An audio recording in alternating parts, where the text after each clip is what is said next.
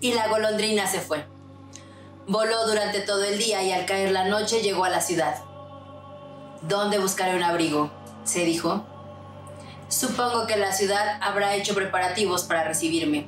Entonces divisó la estatua de sobre la columnita. Voy a cobijarme allá adentro. El sitio es bonito. Hay mucho aire fresco. Y se dejó caer precisamente entre los pies del príncipe feliz. Tengo una habitación dorada, se dijo quedamente, después de mirar en torno suyo, y se dispuso a dormir, pero ir a colocar su cabeza bajo el ala, he aquí que le cayó encima una pesada gota de agua. Hola, te doy la bienvenida a Jóvenes en TV. ¿De casualidad se te hace familiar este cuento? Fíjate que lo escribió Oscar Wilde y si bien cabe dentro de esta categoría literaria, no es un cuento para niños, sino para jóvenes como tú y yo, y para personas adultas, pues a través de sus páginas hace una crítica al capitalismo que surgió en el marco de la primera y segunda revolución industrial.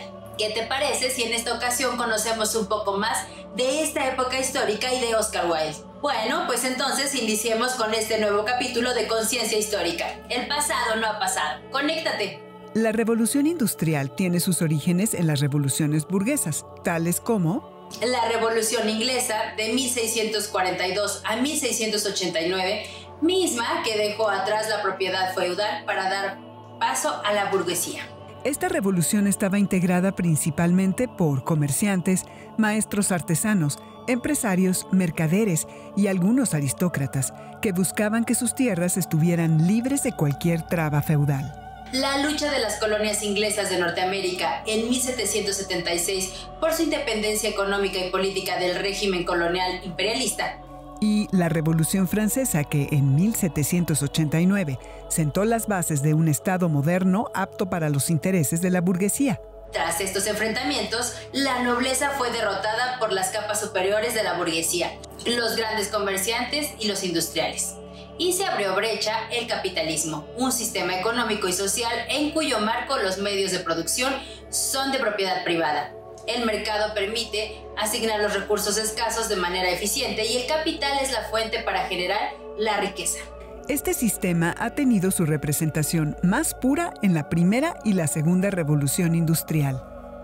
Antes de continuar, conviene hacer una pausa para revisar los conceptos de Reino Unido, Gran Bretaña e Inglaterra y ubicar el territorio de esta última.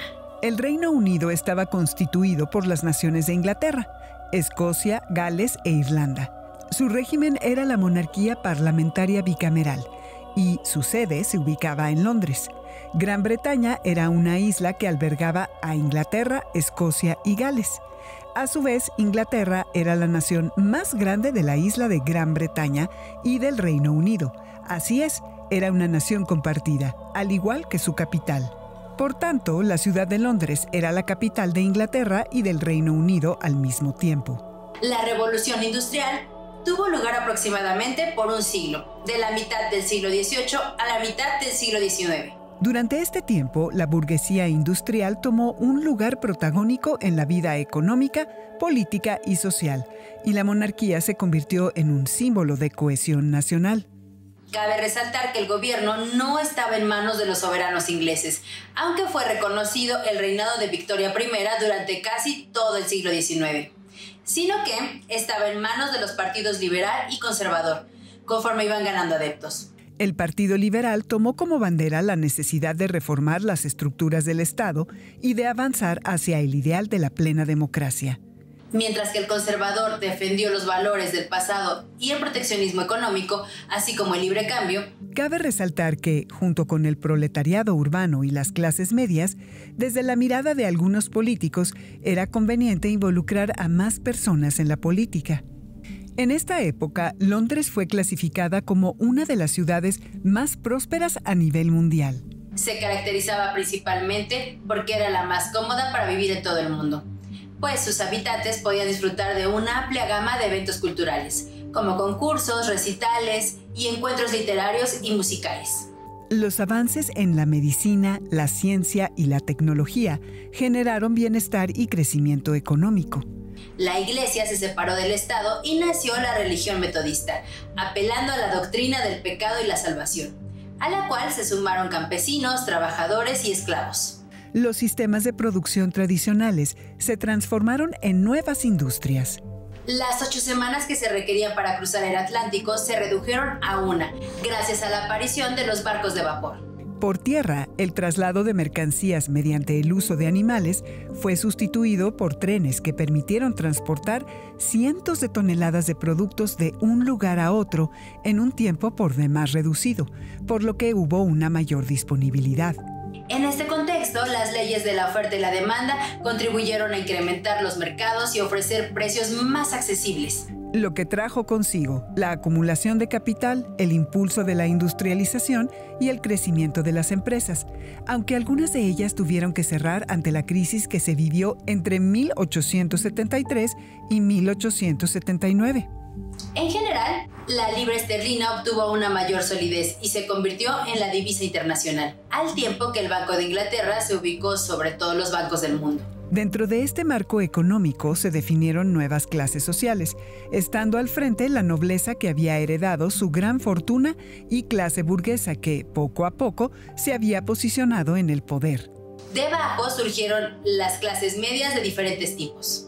La clase media intelectual se relacionaba principalmente con la iglesia, la medicina y el derecho, pero también se acercó a profesiones como la contabilidad, la ingeniería y la enseñanza. La baja clase media, carente de una solvencia económica y temerosa a los cambios presentes y futuros, dio continuidad a viejos oficios y profesiones, como boticarios, curas, apoderados y procuradores. Asimismo, surgió una nueva clase social conformada por oficinistas que ganaban poco y luchaban por ser incluidos dentro de la clase media. Finalmente, estaba el proletariado o clase obrera, que comenzó a surgir a finales del siglo XVIII y que, mediante los sindicatos, negoció pactos y reformas legales para conseguir mejores condiciones de trabajo.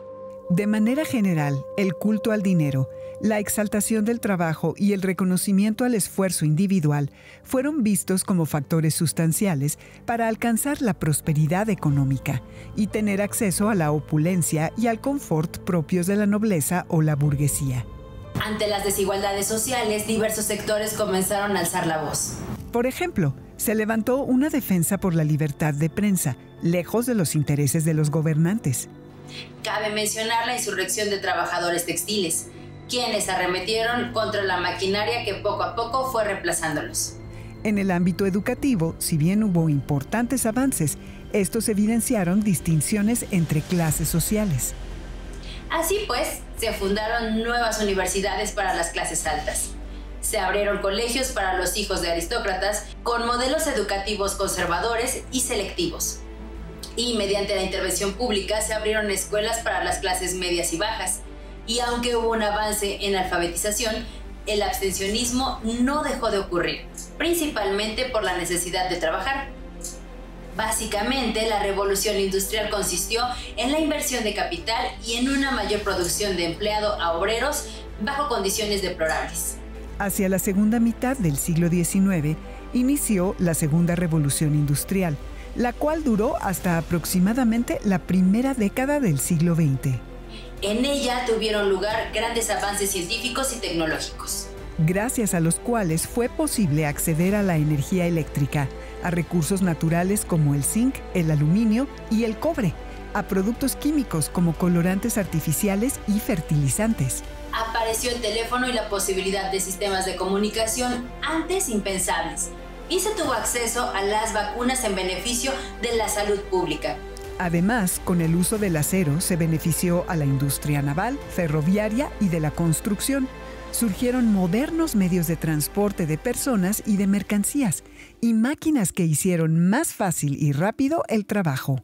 Por otro lado, las asociaciones de obreros cobraban nuevas dimensiones políticas y sociales en el marco de la primera reunión internacional de trabajadores, que se celebró en Londres en 1864, en cuyo marco se produjo por primera vez un programa conjunto de actuación basado en principios socialistas, que propugnaban pensadores como Marx y Engels. El capitalismo agudizó las desigualdades económicas y sociales en Inglaterra. Y también favoreció el imperialismo, proceso por el cual las naciones industrializadas como Francia, Alemania, Bélgica, Japón y Estados Unidos expandieron su poder comercial y económico hacia regiones menos desarrolladas, básicamente porque éstas tenían las materias primas necesarias para la producción. Resulta importante señalar que, en el marco de esta segunda revolución industrial, desaparecieron las pruebas religiosas de las universidades de Cambridge y Oxford. Los centros de enseñanza superior abrieron sus puertas a todos los alumnos, independientemente de sus creencias espirituales, y se estableció como obligatorio que las y los menores de 13 años asistieran a la escuela. Además, en el marco de las revoluciones industriales, se consolidó el ideario mental inglés de que lo moderno, lo pulcro y lo reluciente era lo mejor. Y la literatura cobró un lugar relevante, ya que las plumas de diversos escritores dieron fe del desarrollo histórico de la época, o bien lo criticaron. Te invito a conocer a Oscar Wilde, un escritor que dejó huella. Oscar Wilde nació en Dublín en 1889 y falleció en París en 1900. Fue hijo del cirujano William Wills Wilde y de la escritora Joanna Elgie. Fue un aristócrata que dedicó su vida básicamente al estudio de la contemplación y al disfrute de toda manifestación artística. Fue reconocido como admirador de la cultura clásica, poeta, escritor y dramaturgo mordaz y crítico, con un amplio sentido del humor. Sostuvo que no existen más que dos reglas para escribir, tener algo que decir y decirlo. Respaldó los movimientos obreros y protestó sobre asuntos políticos porque no encontraba contradicción entre la belleza y la búsqueda de la justicia social. Amante del esteticismo y de la moda, vivió como dandy, afirmando que la sociedad inglesa se conformaba con la mediocridad, y quizás fue el hombre más famoso de Inglaterra durante el siglo XIX, y dejó huella en Estados Unidos y Francia. Entre las obras de su autoría están los cuentos El Príncipe Feliz y El Cumpleaños de la Infanta, en los cuales plasmó su crítica personal sobre el ambiente capitalista que se vivía en Inglaterra a fines del siglo XIX. El Príncipe Feliz cuenta la historia de una golondrina que se enamora de la estatua de este personaje durante su viaje de migración a Egipto, en busca de calor de la primavera. Los ojos del príncipe feliz estaban arrasados de lágrimas que corrían sobre sus mejillas de oro.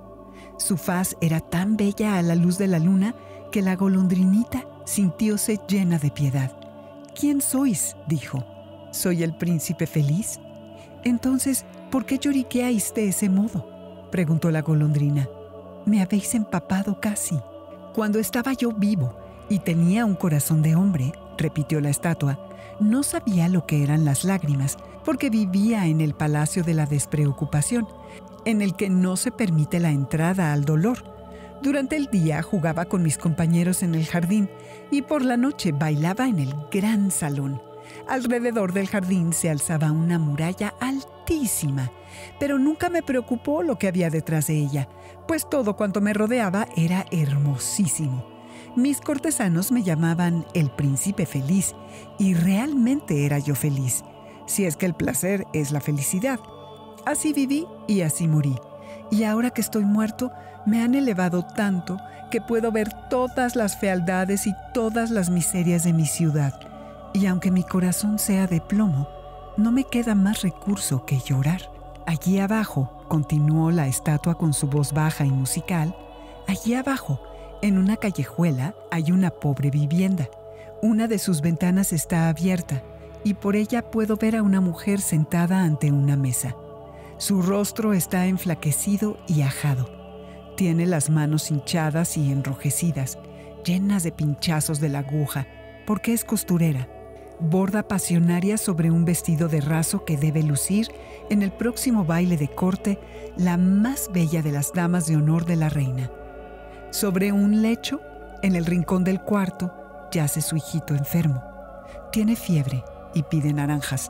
Su madre no puede darle más que agua del río. Por eso llora. Golondrina, golondrinita, ¿no quieres llevarle el rubí del puño de mi espada? Mis pies están sujetos al pedestal y no me puedo mover.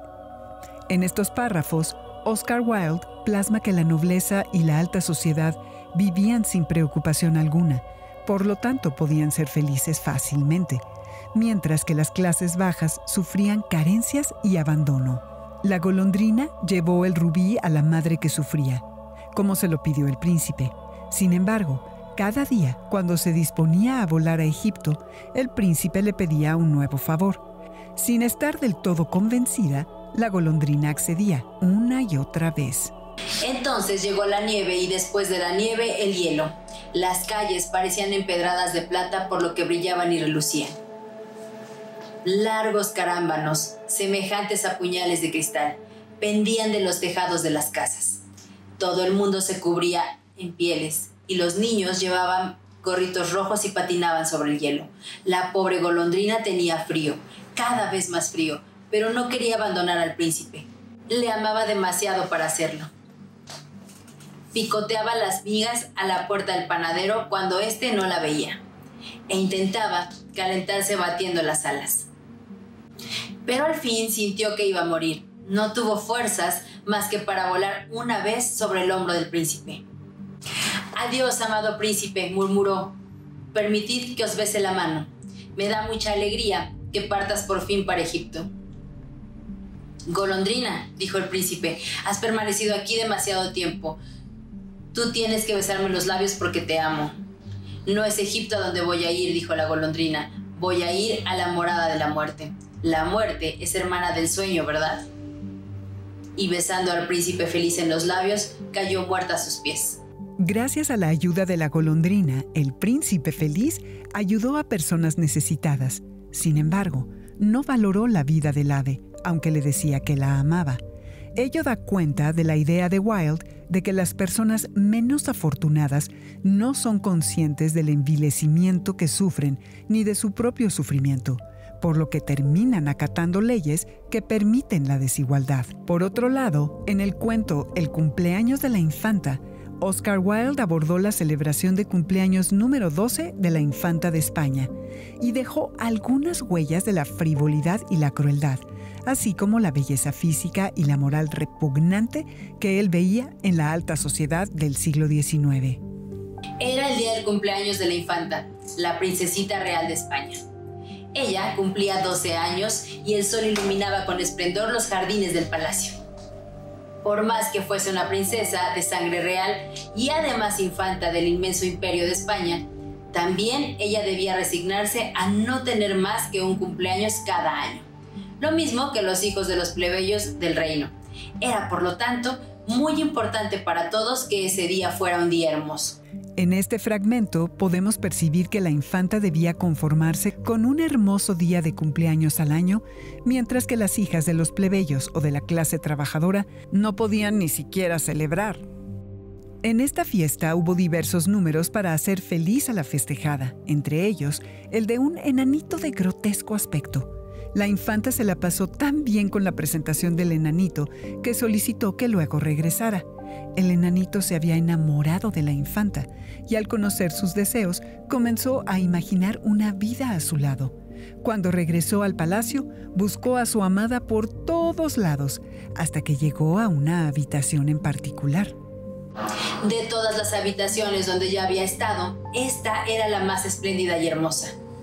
Desde la sombra de la puerta al otro extremo de la habitación, una pequeña figura lo contemplaba. Le tembló el corazón, dejó escapar un grito de alegría y avanzó. Entonces, la figura avanzó también y el enanito consiguió distinguirla con claridad. ¿Era la infanta? No. Quien se le acercaba era un monstruo, el monstruo más grotesco que podría existir. No era proporcionado como todo el mundo, sino jorobado y patizambo, con una cabezota enorme que se bamboleaba de un lado a otro, y una hirsuta crin negra. El enanito frunció el ceño y el monstruo también lo frunció. Se echó a reír y el monstruo se puso a reír con él, dejando caer los brazos lo mismo que él. Le hizo una reverencia burlona y el monstruo le respondió con una reverencia todavía más irónica. Avanzó hacia él y el monstruo vino a su encuentro, remedando todos sus gestos y deteniéndose cuando él se detenía. Gritó alegremente y corrió hacia él, alargándole la mano y la mano del monstruo tocó la suya y era fría como el hielo. Se asustó y retiró la mano, y la mano del monstruo le imitó vivamente, mientras ponía una grotesca expresión de miedo. Hizo un intento de esquivarlo y seguir adelante, pero lo detuvo aquel ente. poniéndosele siempre por delante con su contacto duro y resbaladizo. La cara del monstruo estaba muy cerca de la suya, como si tratase de besarlo, y se veía patéticamente aterrorizado. Retiró los mechones que le caían sobre los ojos, y el monstruo hizo lo mismo. Lo golpeó, y el monstruo devolvió golpe por golpe. Le hizo muecas, y en el rostro del monstruo se dibujaron las mismas muecas. Retrocedió, y el monstruo retrocedió también, entreabriendo una jeta repulsiva. Qué extraño fenómeno era ese, reflexionó un momento mirando en torno suyo por todo el salón. Cuando al final la verdad se abrió paso en su mente, el enano lanzó un aullido, un grito de desesperación, y cayó al pavimento sollozando. Ese ser deforme y jorobado, de aspecto horrible y grotesco, era él, era el mismo. Él era el monstruo. Y era de él de quien se habían reído todos los muchachos, y la princesita, en cuyo amor creyera, ella también se había burlado de su fealdad había hecho mofa de sus piernas torcidas. Entró la propia infanta con su séquito, y cuando vieron al horroroso enanito de bruces en el pavimento, golpeándolo con los puños del modo más fantástico, estallaron en enormes carcajadas. Sus danzas son muy graciosas, dijo la infanta, pero su manera de actuar es mucho más divertida todavía. Lo hace casi tan bien como las marionetas, aunque con menos naturalidad. Agitó su abanico y aplaudió. Pero el enanito no levantó la cabeza. Sus sollozas eran cada vez más débiles, hasta que exhaló un extraño suspiro y suprimió al costado. Luego cayó boca arriba y quedó inmóvil. La infanta le pidió que bailara, pero el enanito ya no se movió. Un chambelán le dijo a la infanta que el enanito no volvería a bailar porque su corazón se había roto. Ante la escena, la infanta frunció el ceño y, con un gesto de fastidio, exclamó, los que vengan a jugar conmigo no deben tener corazón. En esta parte final del cuento, Wilde evidencia sentimientos ingenuos en la inocencia del enano y la crueldad a través de las reacciones de la infanta.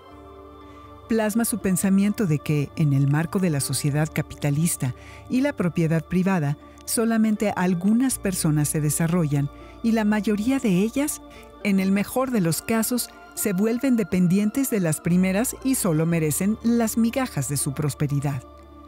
Además de Oscar Wilde, otros novelistas plasmaron en sus obras la vida cotidiana del siglo XIX. Honor de Balzac, en su obra Pergoriot, da cuenta de que este personaje amasó su fortuna durante las épocas revolucionarias y napoleónicas, echando mano de los avances tecnológicos para la fabricación de la pasta de Odessa, y creó redes para su almacenamiento y distribución. Después de hacer su fortuna, vendió su parte de la empresa e invirtió sus ganancias en activos más seguros. Luego, casó a sus hijas asegurando para ellas un lugar dentro de la alta sociedad parisina. Jane Austen, en su novela Mansfield Park, hace alusión al fenómeno transnacional de las empresas, al escribir que Sir Thomas viaja a las Indias Occidentales con su hijo mayor, a lo largo de un año con la finalidad de gestionar sus asuntos e inversiones pues no era sencillo gestionar plantaciones a varios miles de kilómetros de distancia. Henry James en su novela La heredera planteó que Catalina Sloper se dio cuenta de que su novio huyó tras enterarse que la dote que recibiría era solamente de 10 mil dólares al año en lugar de los 30 mil que él esperaba. Y Orson Welles en su película El cuarto mandamiento mostró cómo George, un heredero arrogante, se enfrentó a un cambio drástico en su vida tras perder su ingreso anual de 60 mil dólares por uno de apenas 350. Como puedes ver, la historia no solo se encuentra en los libros de texto o fuentes académicas especializadas, sino la literatura constituye un gran instrumento para conocer el pasado. Es una excelente fuente de información que nos lleva de la mano al quehacer histórico. ¿Y tú qué novelas conoces? ¿Que te hayan trasladado en el tiempo y que te permitieron conocer el pasado? Compártelo con nosotros y con todos los jóvenes de México y el mundo a través de nuestras redes sociales. Con esto llegamos al final de este programa. Recuerda que Jóvenes en TV es un espacio de reflexión y construcción del conocimiento, donde tu participación es muy importante para hacer historia. Así que no olvides escribirnos.